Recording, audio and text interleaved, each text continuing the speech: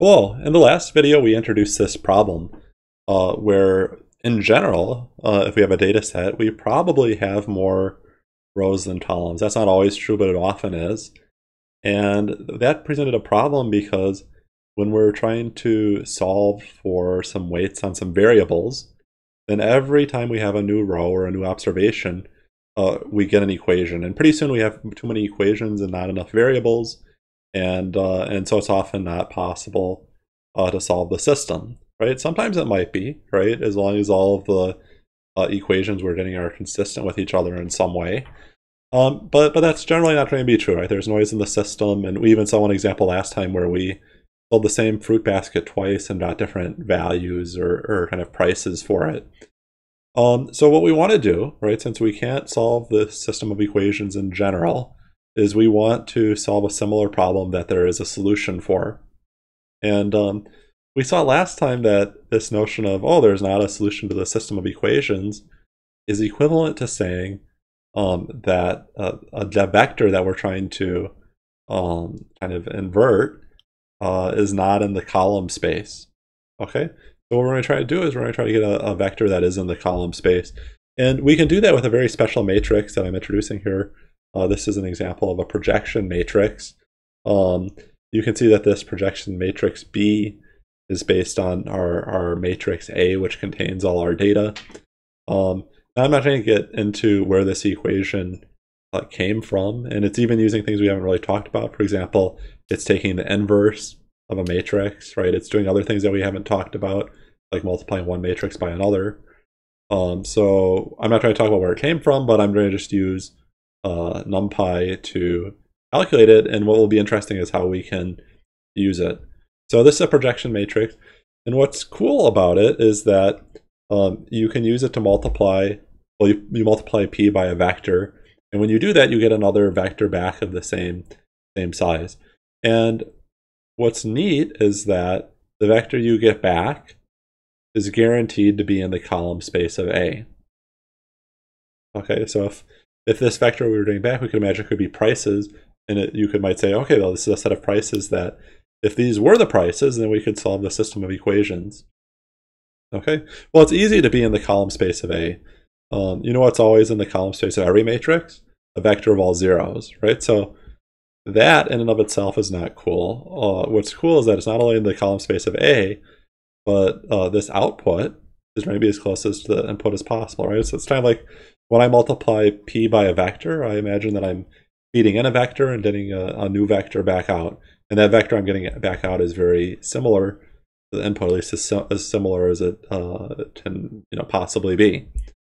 Okay, so how are we going to use this in general? Well, often we're going to want to solve something like this. ax equals b, and there will be no solution. So what we'll do is we'll multiply. Oh, let me fix this. Apologies we're going to multiply b by p, matrix p, and so we're going to get the vector p, right, the little case p.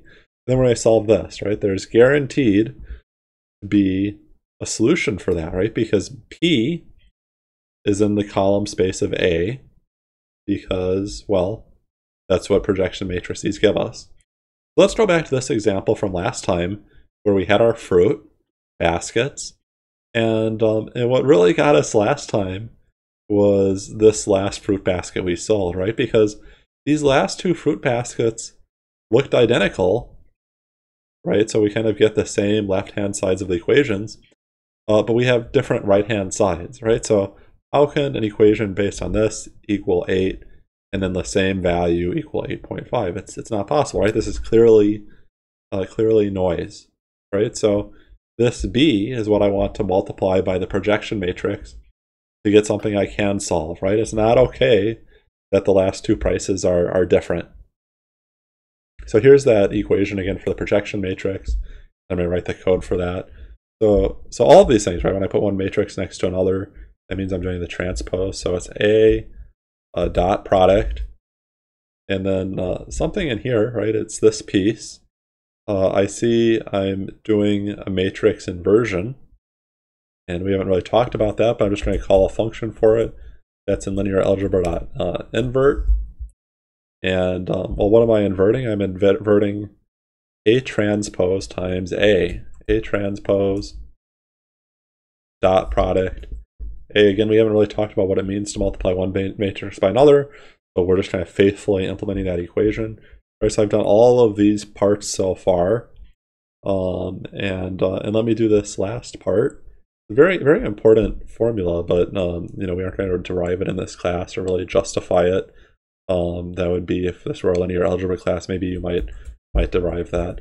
Uh, so a dot t, and and that all gives me back this matrix, t, this giant matrix. And once I have this, what can I do? I can say p dot b, and that gives me a vector back. And let's take a look at that. And um, and and and, and I guess what, what is my problem here? Um,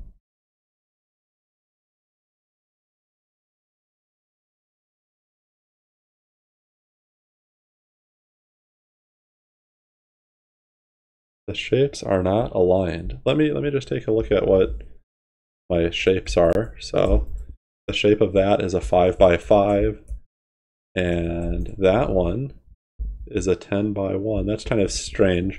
You know what, I, I bet I had that from earlier and I kind of forgot to rerun this cell. Let me just run this quickly. My apologies. I should have done a kernel and restart and run all before I started this demo. Okay, so now it actually works out and I get this new a vector. Now, it's certainly not clear by just looking at that that that is in the column space of A. But what I do want you to notice is that it solved that problem we had last time, right? Now we're dealing with something where these two baskets have the same price, right? So that's one thing I want you to notice about this. And then the other cool thing, right? I wonder if I can, maybe let me just do this so we can fit them both. You notice that P, the P matrix here, is pretty close to the B matrix, right? You know, instead of 7, it's 7.04, right? So that's as far as I'll go with this. I mean, uh, we're guaranteed just uh, by the underlying math that this is the closest possible vector to this that is in the column space of A. And because it's in the column space of A, we know there is a solution for this.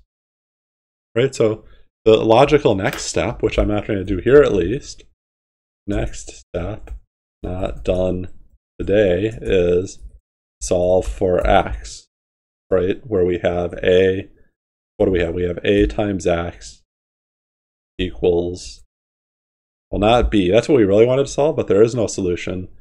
p is pretty close to b, and there is a solution for that. So that'd be logical next step.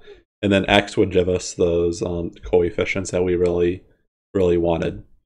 Okay, let me do another example that um, where I actually will kind of uh, do something visually. Uh, this one's a little bit hard to visualize because there's these three columns. Um, so I'm actually going to do, what am I going to do here? I'm going to create this data frame that looks like this. Maybe I'll go back to um, how I created it after I show it to you. Um, but we're basically trying to figure out well, what is the relationship between B and um, A, right? So I'm going to be pulling out B to a separate piece. And then I'm going to have um, a matrix A that only has this one column in it. How did I get this? Well, I was sampling from the normal distribution to get a bunch of A values. Uh, the mean was 20, um, standard deviation 5. I got 10 values. Um, then I generated some noise. The noise was centered at 0, standard deviation 1, 10 values. And then the relationship here is, is mostly supposed to be B is half of A, uh, but I'm adding in that noise, right? So I do that, I get some noisy B value here. And so I put in the data frame and I plot it. And I see this kind of thing, right? There's this, um, you know, it's, it's, it's not a clean linear pattern, right? Um, it's roughly linear, right? Maybe I could imagine fitting some line to it, but it's not exactly linear. And um, and something to note here, right, is that that whole if I, if I go back to one of these, right, anytime I have um one of these b vectors, right, I can I can plot a vector as a scatter, right, because uh, because a, a vector is just a column. We've been plotting columns as scatters, right, so I can do that um, as well. So what I'm going to do to really show you the meaning behind that projection matrix and the and the vectors it gives us back is that I'm going to compute a new column uh, for this matrix, right? And the new column is going to be called P, and it's going to be based on the projection matrix. I'm going to show you what that one looks like when we when we visualize that. Okay, so let's do that. So uh, here I have my data frame, and um, let me get the underlying uh, the underlying values. What are these? Well, this is the uh, NumPy array, and let me slice that. I want all the rows, and I want everything except that uh, that column, right? So let me let me run that, and I see. Okay, well that's my A matrix.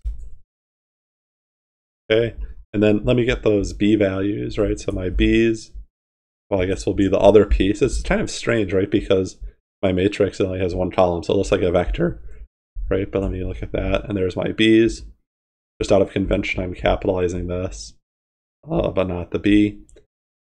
And um, and now I want to figure out what that projection matrix is based on A, just so I can multiply B by it and get something in this space. Let me let me head back and grab my um, equation from before, right? So I'm to grab that thing and compute my special projection matrix. And let's take a look at that. And um,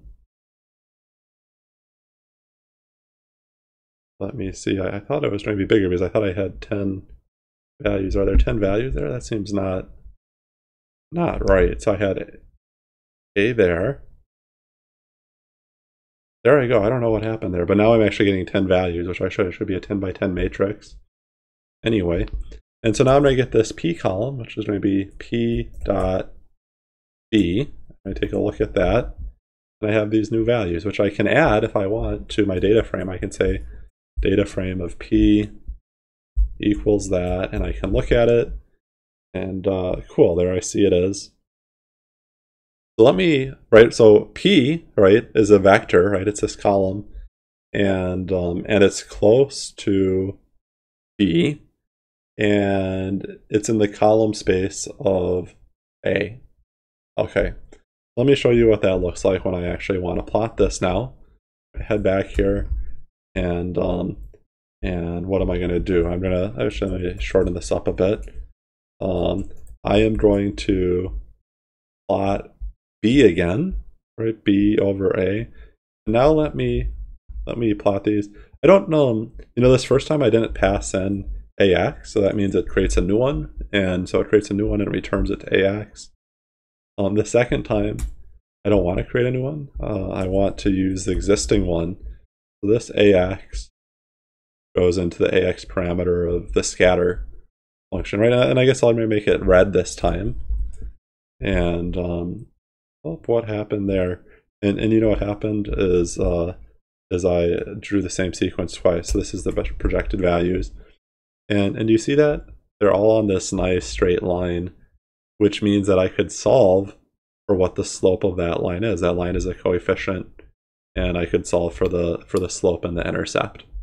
Okay, so we're going to be doing this more uh, next time. We haven't actually solved for that equation. Hopefully you can see, though, that these projection matrix matrices are pretty um, special. They make the problem solvable. Um, hopefully you can see that even though we haven't solved it yet.